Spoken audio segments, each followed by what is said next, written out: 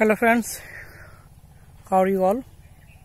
Hope all are well and enjoying your time with the great platform. And you know this is Hafiz uh, from Bangladesh. At this uh, moment uh, my feelings is uh, very well because uh, I just taking some rest in the green nature. And uh, you know I love most the green nature. And when I take when I get the opportunity I just run in the green opportunity in the green nature. Because uh, green nature always refresh me give me the energy. And today I am just uh, going to ask you a questions about our uh, Steem journey. You know bad time and good time with this combination our life.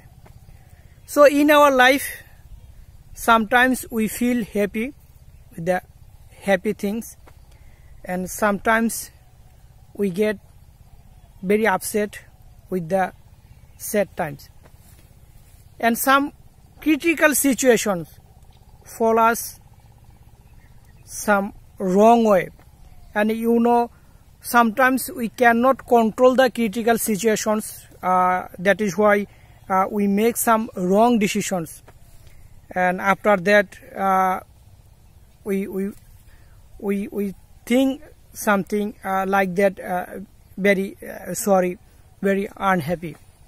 So today my question is on your Steem journey did you ever feel like that uh, sorry did you uh, get take any wrong decision on your Steem journey?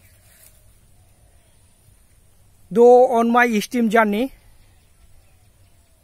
i take a wrong decisions. And after that i realized the decision was wrong.